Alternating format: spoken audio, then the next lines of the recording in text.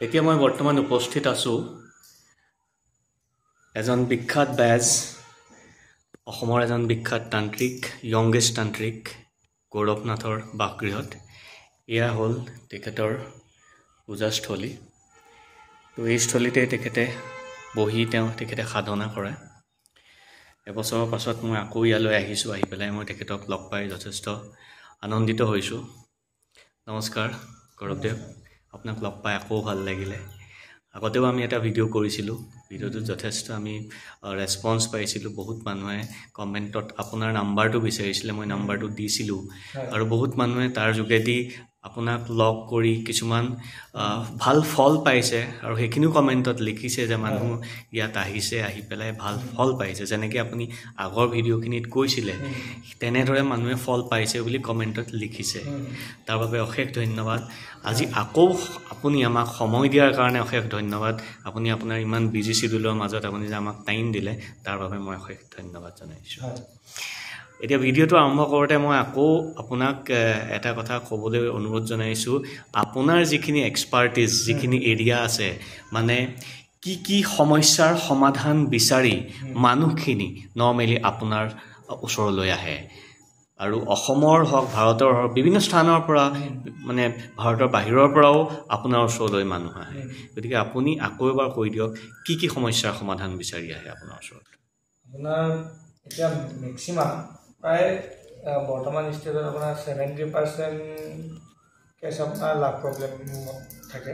লাভ problem লাভ প্ৰেমজনিত প্ৰেমজনিত কাৰণ seventy percent আৰু বিবাহৰ পিছত আপোনাৰ হাজবেণ্ড ৱাইফ বা আপোনাৰ ডিভ'ৰ্চ মেটাৰ ডিভ'ৰ্চ ডিভ'ৰ্চ মেটাৰো আপোনাৰ প্ৰায় আপোনাৰ দহজনৰ ভিতৰত দুজনৰ প্ৰায় ডিভ'ৰ্চ মেটাৰে থাকে। বা আপোনাৰ ধৰি লওক ৱাইফে এৰি থৈ গৈছে। আহি অহা নাই ঘৰলৈ ঘূৰি। বা হাজবেণ্ডে এৰি দিছে। অহা নাই ঘূৰি। ঘৰত পৰিয়াল আছে বা ল'ৰা ছোৱালী আছে এতিয়া কোনে চাব? কেনেকৈ চাব? তেনেকুৱা ধৰণৰ প্ৰব্লেম কিছুমান আহে। তাৰপিছত আপোনাৰ ঘৰত পইচা পাতি আপোনাৰ নাহিলে বহুত খৰচা হৈ থাকে বা মানে আহে পইচা কিন্তু নৰখে যায়গৈ। বা আপোনাৰ আগতে বহুত উন্নতি আছিল বৰ্তমান উন্নতি নাই কোনোফালে পইচা পাতি নাহে তেনেকুৱা ক্ষেত্ৰতো মানুহ আহে। আৰু আপোনাৰ তেনেকৈ আহে বিভিন্ন ক্ষেত্ৰত আহে আপোনাৰ বিভিন্ন বেমাৰ আজাৰত আহে। বেমাৰ আজাৰ প্ৰায় খুব কম আহে মানুহ বেমাৰ আজাৰত। কিন্তু আপোনাৰ এনেকুৱা বাহিৰা সমস্যাখিনিৰ লগত জড়িত হৈ মানুহখিনি অলপ বেছিকৈ অহা দেখা যায়। আৰু আপোনাৰ আৰু আৰু কি ক'ম আৰু আৰু তেনেকৈ বিবাহত অলপ বাধা থাকিলে সেইখিনি সমস্যা লৈও আহে। বিবাহত বাধা মানে কিছুমান আহে এনেকুৱা কেছ আপোনাৰ মানে পঞ্চাছ ষাঠিটা কেছৰ ভিতৰত এটা কেছত থাকে কম সেইটো। খুব কম। আৰু চাকৰি চাকৰি নোপোৱাৰ কাৰণে আহে। কিন্তু কওঁ যে চাকৰি বাকৰি পোৱা নোপোৱা সেইবিলাক বস্তু একচুৱেলি তন্ত্ৰবিদ্যাৰ একচুৱেলি কাম মানে ইমান প্ৰভাৱ নাই। ইমান প্ৰভাৱ নাই বুলি নকওঁ। কৰিব পাৰিলে তাতো আছে বাট সেইটো বস্তু মানে প্ৰাকৃতিক সুলভ নহয় বস্তু। প্ৰকৃতিৰ লগত জড়িত নাথাকে। চাকৰিটো বা কৰ্মস্থানটো প্ৰকৃতিৰ লগত জড়িত নাথাকে। তো আপোনাৰ সেইটো মানুহে নিজে ইচ্ছা কৰি আজি এটা বেলেগ চাকৰি কৰিব পাৰে কালি এটা বেলেগ চাকৰি কৰিব পাৰে তেওঁৰ কথা। হয়। তো সেইটো বস্তু বেলেগ। কিন্তু তাতো আপোনাৰ যাতে আপোনাৰ যাক ক'ৰবাত গৈছে বা তেওঁ চাকৰিৰ কাৰণে আপোনাৰ এপ্লাই কৰিব গৈছে এইটো নকওঁ যে মন্দ শক্তিৰে কাৰোবাক চাকৰি পোৱাই দিব পাৰিব সেইটো নকওঁ। কিন্তু অঁ ক'ৰবাত গৈছে তেওঁ তেওঁ হয়তো আপোনাৰ সেইখিনি কোৱালিটি আছে। হয় কেতিয়াবা যোগ্যতাটো থাকে বা কেতিয়াবা বা পোৱা নাযায়। তেতিয়া মানে একচুৱেলি কি হয় মানুহৰ ৰেচপন্সৰ ফলতো সেইখিনি হয়। আপুনি গৈছে আপোনাক কোনোৱে গুৰুত্ব দিয়া নাই। বা কেতিয়াবা আপোনাৰ কিছুমান কামত বিজি থাকোঁতে আপুনি মানুহৰ চকুত নপৰে যাৰ কাৰণে আপুনি ভাল ইণ্টাৰভিউ এটা দিলেও হয়তো। তেনেকুৱা ক্ষেত্ৰত আপোনাৰ ধৰি লওক তাবিজ চাবিজ ল'লে তেতিয়া আপোনাৰ আকৰ্ষণটো অলপ বৃদ্ধি পায়। বৃদ্ধি পোৱাৰ কাৰণে মানুহ মানুহৰ পৰা ইম্প্ৰেশ্যনটো পায় মানে। ইম্প্ৰেশ্যনটো মানে পাই যায় বঢ়িয়াকৈ। তো তেনেকুৱা ধৰণৰ সেইটো আহে বা সেইখিনি আপোনাৰ বিভিন্ন ক্ষেত্ৰতো হয়। এটা বস্তুৱে বহুতটা কাম থাকে।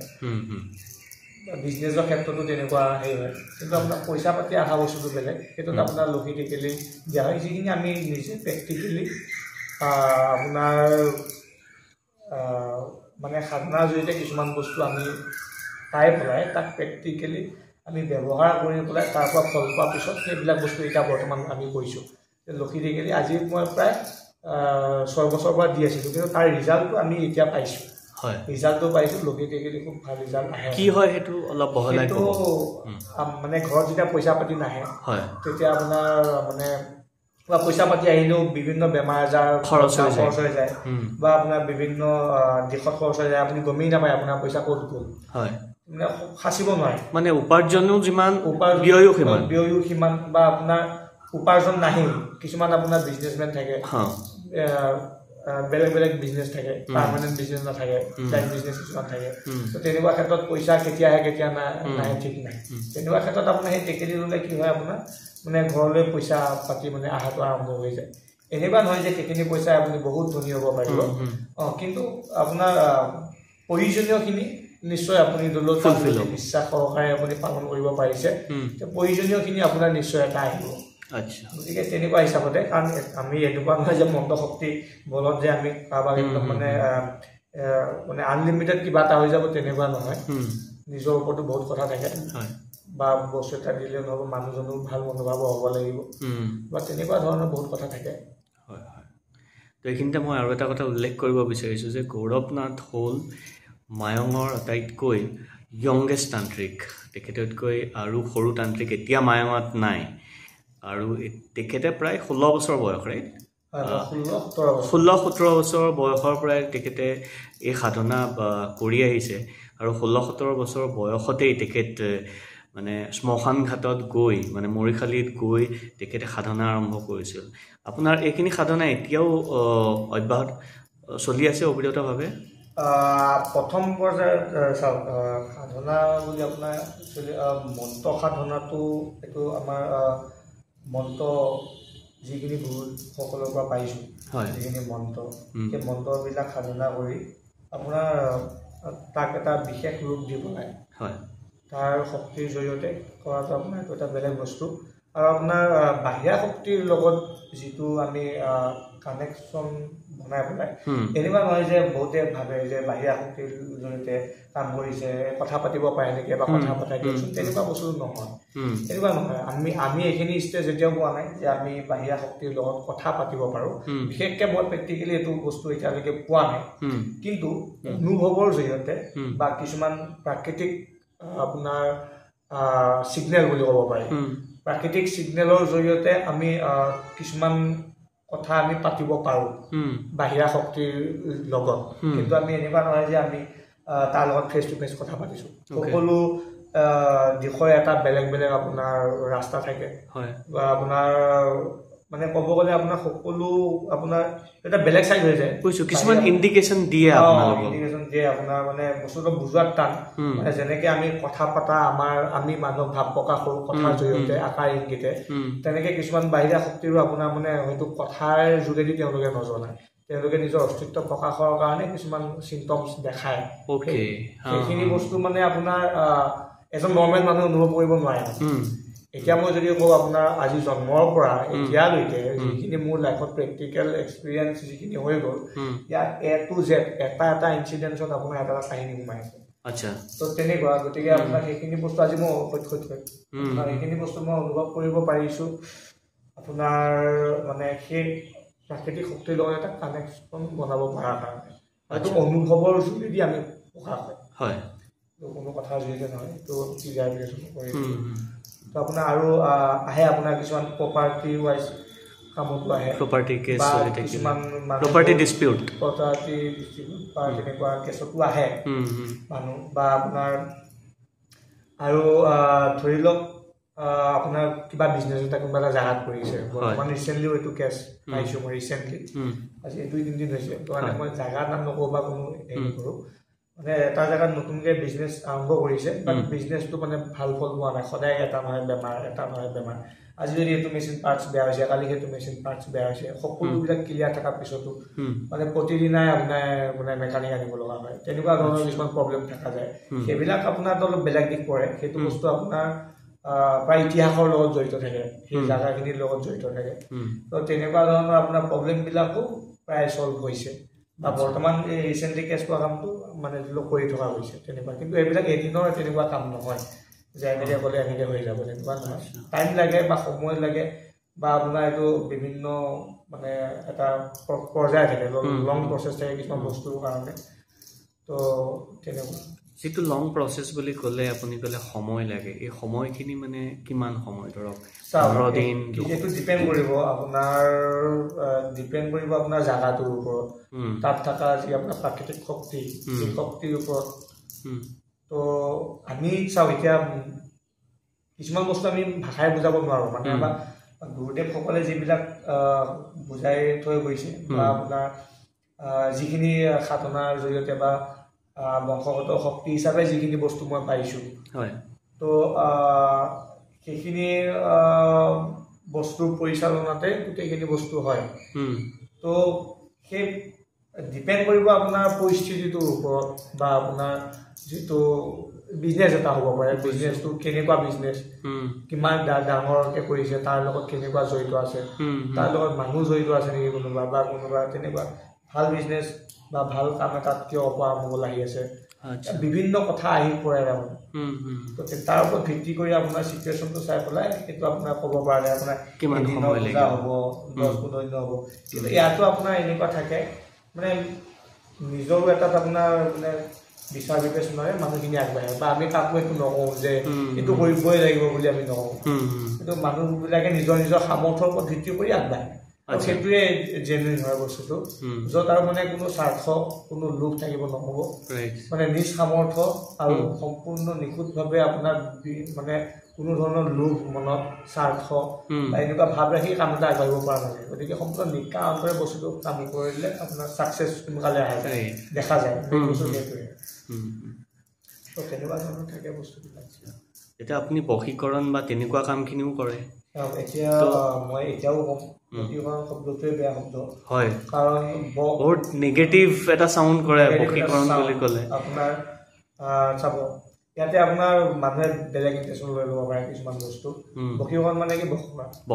ঠিক আছে। থিয়ৰিকেলি মই ইমান বুজাব নোৱাৰোঁ বা থিয়ৰিকেলি মই ইমান মানে ক'ব নোৱাৰোঁ। যিখিনি প্ৰেক্টিকেলি মানে সহজ ভাষাৰে মই বুজাব চেষ্টা কৰিছোঁ। আপোনাৰ চাব এজন মানে পৃথিৱীত যিমান আপোনাৰ জীৱ জন্তু আছে সকলো জীৱ জন্তুৰে নিজস্ব আপোনাৰ স্বাধীনতা আছে ঘূৰি ফুৰিবৰ কাৰণে নিজৰ মতেদি কৰিবৰ কাৰণে সকলো মানে যি ইচ্ছা তেওঁ কৰিব পাৰে তো Right. সকলো এটা স্বাধীনতা আছে। আৰু স্বাধীনতাটো আমি লুপ্ত কৰি দিয়া আমাৰ অধিকাৰ নাই। ৰাইট কিন্তু পৰিস্থিতি পৰিৱৰ্তনৰ জৰিয়তে মানে তেওঁৰ চিন্তাধাৰাটো সম্পূৰ্ণৰূপে মানে ৰিয়েলাইজ ৰিয়েলাইজেশ্যন ৰিয়েলাইজ কৰা মানুহজনে যদি আমি এইটো ৰিয়েলাইজ কৰি দিব পাৰোঁ যে নাই আপুনি বস্তুটো এনেকুৱাহে কৰি আছে যে এইটো বস্তু এইটো হ'ব লাগিছিল। মানে নিজৰ মনত নিজে নিজে জাগি উঠা নিজে ভুল কৰি আছে শুদ্ধ কৰি আছে। বা সঁচা মেমৰি এটা আহ, মানে তেওঁৰ মনত দুবাৰ উৎপন্ন কৰি দিয়ে যাতে তেওঁ সেই বস্তুটো কম্পেয়াৰিজন কৰিব পাৰে। বৰ্তমান চিটুৱেশ্যনটো আৰু মানে যিটো হ'বলৈ কনচিকুৱেঞ্চটো কি হ'ব সেইটো অ, তো আপোনাৰ প্ৰাকৃতিকভাৱে আপোনাৰ মানে সত্যতাটো পোহৰত আনি মানুহজনৰ মানে চকুটো খোল খুৱাই দিয়াটোকে আপোনাৰ তাক চাওক বহুতে বশীকৰণ বুলি কয় উম। সেইটো বশীকৰণ বুলি মই নকওঁ তাক আপোনাৰ প্ৰাকৃতিকভাৱে এটা পাৰ্মানেণ্ট চলিউশ্যন বুলি কওঁ। আচ্ছা। কিন্তু তাক বহুতে বশীকৰণ বুলিও কয়। এক প্ৰকাৰে চাব আজি যদি মানুহ এজন আপোনাৰ এজন মানুহক দেখিবই নোৱাৰে। কালিৰ পৰা যদি সেই মানুহজন যদি মানুহজনক বহুত ভাল পোৱা হৈ যায় তো আপোনাৰ সেইটো আপোনাৰ বশীকৰণ বুলিয়ে কয় মানুহে। কিন্তু একজেক্টলি তাক বশীকৰণ বুলি ক'ব নোৱাৰি। তাৰ আপোনাৰ বেকত বেকগ্ৰাউণ্ডত আপোনাৰ প্ৰাকৃতিক শক্তিৰ দ্বাৰা আপোনাৰ পৰিস্থিতি পৰিৱৰ্তনৰ যোগেদি মানুহৰ মানসিকতা পৰিৱৰ্তন কৰাটো আপোনাৰ এইটো যিটো প্ৰচেছ সেই। প্ৰচেছটো আপোনাৰ কি বুলি তাক মই এতিয়া আপোনাৰ উৰাণ বুলিয়ে কওঁ। কিন্তু আপোনাৰ থাকে কিছুমান আপোনাৰ প্ৰব্লেম থাকে। যেনেকৈ আপোনাৰ হাজবেণ্ড ৱাইফ এতিয়া হাজবেণ্ড ৱাইফ হ'লে আপোনাৰ চাব কিছুমান মানুহ থাকে আপোনাৰ মানে বহুত অত্যাচাৰী থাকে মানুহ কিছুমান। ঘৰখন শান্তি নিদিয়ে জ্বলাই নিদিয়ে। মানে আপোনাৰ মানে অ মানে শান্তি নিদিয়ে জ্বলাই দিয়ে বহুত জ্বলাই। মানে আহি পেলাই ঘনীয়েকক মাৰপিট কৰিব। নিজৰ ল'ৰা ছোৱালীকেইটাৰ ওপৰত অত্যাচাৰ কৰিব এতিয়া। তেনেকুৱা মানুহক চাওক কিছুমান এনেকুৱা বিদ্যা আছে যিবিলাক বিদ্যাৰ যোগেদি মানে সেই মানুহজনক আপোনাৰ সম্পূৰ্ণ তাৰমানে আপোনাৰ মানে like hypnotize hypnotize like. Hypnotize মানে ঘৰৰ কোনোবা এজন মুৰব্বীৰ কথা তেওঁ মানে আখৰে আখৰে পালন কৰি যাব। উম, তেওঁ মানে ভাবিব নোৱাৰা হৈ যায় যে মই একচুৱেলি কি কৰিম উম, কি নকৰিম। তেওঁ সম্পূৰ্ণ বিবেচনা শক্তিটো গায়ক মানে লুপ্ত হৈ যোৱা নিচিনা এটা পৰিস্থিতি সৃষ্টি কৰিব পৰা যায়. শক্তিৰ যোগেদি। আৰু আপোনাৰ প্ৰাকৃতিক উপাদানৰ যোগেদি। তো আপোনাক সেইটোক একজেক্টলি বশীকৰণ বুলি ক'ব পৰা যায়। সেই বস্তুটোক বশীকৰণ বুলি ক'ব পৰা যায় যিটো বস্তুৰ দ্বাৰা বেলেগৰ অপকাৰ হৈ আছে আৰু আপুনি তাক কণ্ট্ৰলত ৰাখিছে যাতে। কাৰো অপকাৰ নহয়। নহয়। গতিকে সেই বস্তুটোকহে একচুৱেলি বশীকৰণ বুলি ক'ব পৰা উম, বাকীখিনি বস্তুত আপোনাৰ মানে চাওক সেইটো বস্তু আমি বিভিন্ন বস্তু বিভিন্নজন বিভিন্ন এটা ভাল বস্তু আমি বেয়া কামতো ইউজ কৰিব পাৰোঁ ভাল কামতো ইউজ কৰিব পাৰোঁ। তো আপোনাৰ সেইটো নিজৰ লগত কথা কোনে কি ধৰণে মানে ব্যৱহাৰ কৰে। চিন্তাধাৰাৰ লগত কথা। তেনেকে আমি বহুত বস্তু চালি জাৰি চাই কিবা এটা কাম হাতত ল'ব লগা হয়। কিন্তু মানে আপোনাৰ বাহিৰৰ মানুহখিনিৰ কাৰণে অলপ প্ৰব্লেম এইটো কাৰণে হয় মানে তেওঁলোকে আমাৰ এইটো কালচাৰটো ইমান ভালকৈ গম নাপায়। বা ইয়াতে নিয়ম নীতিখিনি নাজানে। বাহিৰৰ মানুহখিনিয়ে মানে আপোনাৰ মন্ত্ৰ শক্তিৰ পৰা মানে কামটো মানে কিনি লোৱা বুলি ভাবে কিন্তু সেইটো। নহয়। আপুনি ভগৱানক কেতিয়াও কিনিব নোৱাৰে। আপুনি. কিবা এটা পূজাৰ কাৰণে কিবা এটা খৰচা কৰিলে বুলিয়ে যে আপোনাৰ কামটো হ'বই লাগিব তেনেকুৱা কথা নহয়। সেইটো আপুনি ভগৱানক কিনিব নোৱাৰে। কাৰণ আমি ভগৱানক আৰ্হি কৰি কাম এটা কৰিম বা আপুনিও সেইজনক বিশ্বাস কৰিয়ে আহিছে গতিকে সকলোবোৰ তেওঁৰ ওপৰতে থাকে। গতিকে বস্তুখিনি মানে আপোনাৰ এইটো শুদ্ধ মানসিকতাৰে কৰি যাব লগা হয় আমি বিভিন্ন ক্ষেত্ৰত। কিয় কেতিয়াবা হয়তো এইটো কোনোবাই ব্যক্তিগত স্বাৰ্থত আহিও তেনেকুৱা কিছুমান আহে বা ফ'ৰ্চ কৰে কেতিয়াবা। উম, উম। বা তেনেকুৱা ক্ষেত্ৰত আমি নিজে চালি জাৰি চাবলগীয়া হয়। চাবলগীয়া হয়। বা গতিকে আমি কিছুমান ক্ষেত্ৰত কৰা যায়। বা কিছুমান ক্ষেত্ৰত এনেকুৱাকে কৰি থোৱা যায়। আপোনাৰ মানে যদি মানুহজন আপোনাৰ প্ৰাকৃতিকভাৱে যদি আপোনাৰ মানুহজন বেয়া মানসিকতাৰ হয় বা তেওঁ যদি ভুল কৰিব বিচাৰিছে। তেতিয়াহ'লে আপোনাৰ প্ৰাকৃতিক শক্তিৰ লগত জড়িত কামবোৰে তেওঁৰ কামটো মানে একচেপ্টেবল নকৰে। আচ্ছা। বা আমি কামটো কৰিলেও হয়তো তাৰ ফল আমি নাপাব পাৰোঁ। আচ্ছা। তো তেনেকুৱা কিছুমান আপোনাৰ মানে থাকে দিশ থাকে। তেনেকুৱা ধৰণৰ আমাৰ থাকে অস্ত্ৰ থাকে। এতিয়া লাষ্ট ধৰক এক ডেৰ বছৰত আপুনি সমাধান কৰা কেইটামান কমপ্লিকেটেড কেছ কওক যিকেইটা বহুত কমপ্লেক্স আছিলে যিকেইটা কেছ আপুনি সমাধান কৰিলে বহুত মানে ছাকচেছফুলি এক্সিকিউট কৰিলে। এতিয়া প্ৰব্লেম ছাকচেছ কৰাটো বহুত কেছেই আছে। হয়। অলপ কমপ্লিকেটেড কিছুমান কেছ কমপ্লিকেটেড কিছুমান আছে আপোনাৰ আজিৰ পৰা প্ৰায় দুই বছৰ আঢ়ৈ বছৰ মোৰ ইমান ভালকৈ মনত নাই তাত আপোনাৰ তিনি বছৰৰ ভিতৰৰ কথা। হয়। আপোনাৰ বাহিৰৰ মানুহ এগৰাকী আছিলে তেওঁক আপোনাৰ মই জাকা নাম নহওঁ মানে ত্ৰিছ বছৰ ধৰি তেওঁৰ দেহত বাহিৰা শক্তিৰ প্ৰভাৱ আছিলে। বাহিৰা শক্তিৰ প্ৰভাৱ আছিলে। তাৰপিছত আপোনাৰ তেতিয়া তেওঁলোকে আঠটা ছাগলী দিছিলে ভোগৰ কাৰণে। হয়। তো আঠটা ছাগলী আমি কাকো অপকাৰ কৰা নাছিলোঁ। সেই আঠটা ছাগলী আপোনাৰ মানে আমি এৰি দিওঁ। বা যিকোনো জীৱ আপোনাৰ এতিয়া ভোগৰ কাৰণে ছাগলী লাগে। লাগিবই। বাহিৰা শক্তি যোগেদিও কৰিব গ'লে এইটো লাগিবই কম্পালচৰি তো আমি সেইখিনিহে ধৰি লওক উৰ্জা লোৱা যায় যিখিনি আপোনাৰ উৰ্জাত এটা জীৱ জন্তুৰ অপকাৰ নহয় আৰু তাক আপোনাৰ মুক্তমনে এৰি দিয়া যায়। ডিঙিত ৰঙা কাপোৰ বান্ধি মুক্তমনে এৰি দিয়া যায়। আৰু সিও এটা নিজস্ব স্বাধীনতা পায়। তাক আৰু ৰঙা কাপোৰটো দিয়াৰ পিছত আৰু সেইটো ছাগলী আৰু কোনেও মানে আপোনাৰ আৰু মানে নাখায় আৰু ধৰি এইটো আমাৰ এইটো অসমীয়া যিখিনি আপোনাৰ মানে মানে অসমীয়া সংস্কৃতিৰ গোটেইখিনি মানুহে এইটো বস্তু জানেই তাৰ উপৰিও বাহিৰা যিখিনি মানে সংস্কৃতি আমাৰ অসমীয়া মানুহৰ লগত বা আছামিজ কালচাৰৰ লগত জড়িত। সেইখিনি মানুহে এইটো কথা জানে বা বাহিৰা জেগাতো এৰি দিয়ে তেনেকে। কিন্তু বেলেগে এনেও মনৰ এতিয়া মন্দিৰত গৈ এৰি দিয়াটো এটা বেলেগ বস্তু। সেইটো মনৰ আশা যেতিয়া এটা মানে বিচাৰে তেতিয়া আপোনাৰ মন্দিৰত ছাগলী দিয়ে। সেইটো বেলেগ এতিয়া এই আঠটা ছাগলী যেতিয়া এৰি দিছিলে আপুনি। আঠটা ছাগলীৰ ওপৰত কিবা তন্ত্ৰ মন্ত্ৰ কিবা কৰি এৰিছিলে? তন্ত্ৰ মন্ত্ৰ কৰা যায় ছাগলীৰ ওপৰত মন্ত্ৰ শক্তি প্ৰয়োগ কৰা যায় সেই মন্ত্ৰৰ যোগেদি আপোনাৰ শক্তি আপোনাৰ মানে। লোৱা যায়। পৰ্যাপ্ত পৰিমাণৰ শক্তি লোৱা যায়। যাতে আপোনাৰ সেই জীৱ জন্তু বা জন্তু জন্তু কোনো ধৰণৰ অপকাৰ নহয়। তেনেকুৱা ধৰণে আপোনাৰ মানে এইটো চাই চিতি কৰা যায়। তো আপোনাৰ তেনেকৈ আপোনাৰ সেই শক্তিৰ দ্বাৰা এটা নতুন শক্তি সৃষ্টি কৰি বাহিৰা শক্তিৰ লগত আপোনাৰ যুঁজিবৰ কাৰণে এৰি আৰু তেনেকুৱা যুদ্ধ আৰু এটা ভাল আপোনাৰ শক্তি আৰু বেয়া শক্তি মানে সৰু সুৰা যুদ্ধ বুলি ক'ব পাৰি। তেনেকুৱা হয় গতিকে আপোনাৰ তেনেকুৱা এইটো আছিলে আপোনাৰ প্ৰায় ঠিক হৈ গ'ল সেইটো কেছ প্ৰায় আপোনাৰ নাইণ্টি পাৰ্চেণ্ট ছাকচেছ হৈ গ'ল সেইটো কেছ এতিয়া তেওঁলোক বৰ্তমান সুস্থ আৰু আচ্ছা। তেওঁলোকে মাজে ত্ৰিছ বছৰ ধৰি বেয়া শক্তিৰ প্ৰভাৱত আছিলে। অঁ, তেওঁলোকে আছিলে। তেওঁলোকে আছিলে। মানে আপোনাৰ পেটেদি মাত দিয়ে আপোনাৰ তাৰপিছত চিঞৰ বাখৰ পৰা আদি কৰি। পেটেদি মাত দিয়ে? অঁ পেটেদি মাত দিয়ে এনেকুৱা আছিলে।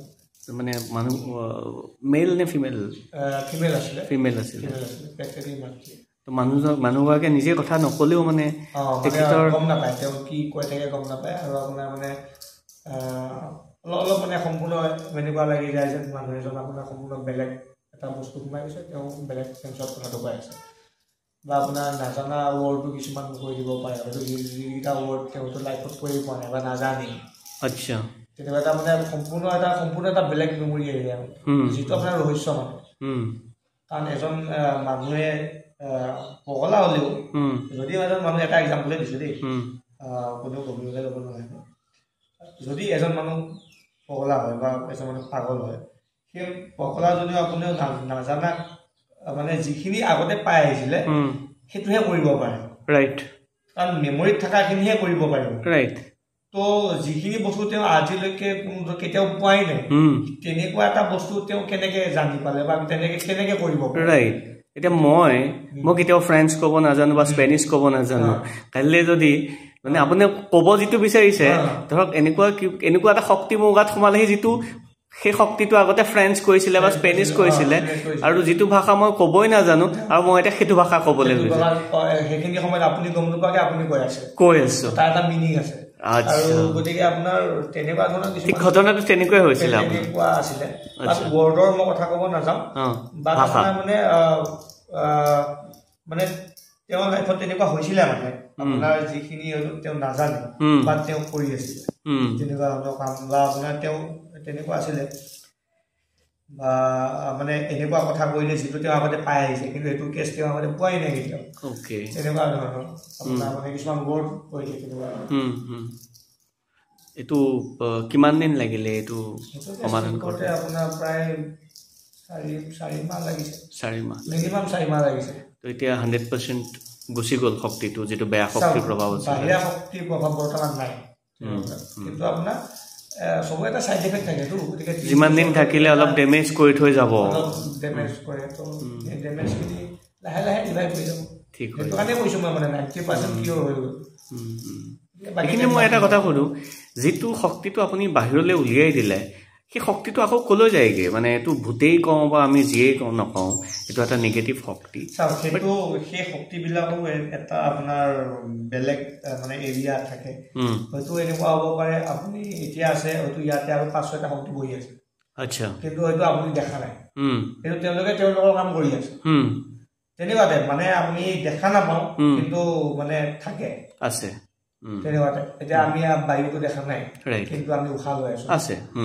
তেনেকে আপোনাৰ কিছুমান আপোনাৰ আজিকালি চায়েন্স টেকনলজি ওলাই গৈছে। তো আজিকালি আপোনাৰ বাহিৰা শক্তি আছে নে নাই আপোনাৰ কিবা মিটাৰ মাৰি মাৰি চাই তেনেকুৱা ওলাইছে আজিকালি। আচ্ছা। গতিকে সেইটো মই এতিয়া সেইটোৰ ওপৰত মই কথা ক'ব নাযাওঁ কাৰণ সেইটোৰ ওপৰত মোৰ কোনো অভিজ্ঞতা নাই বা মই শুনিছোঁহে কথাটো দেই বা টিভিয়ে চিভিয়ে দেখিছোঁহে। তেনেকে আপোনাৰ মিটাৰ মাৰি চাই কিবা টুট টুট মাৰি দিয়ে নাজানো। কিমান দূৰ কেনেকুৱা কি।